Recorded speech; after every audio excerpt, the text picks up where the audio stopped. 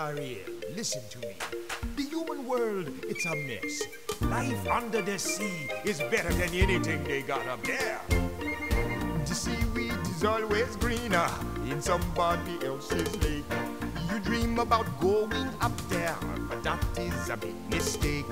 Just look at the world around you, right here on the ocean floor. Such wonderful things around you. What more are you looking for?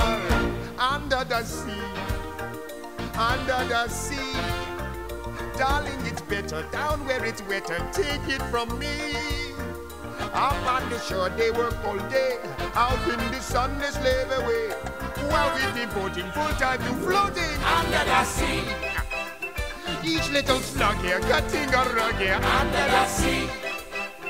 Each little snail here know how to wail here. That's why it's hotter under the water. Yeah, we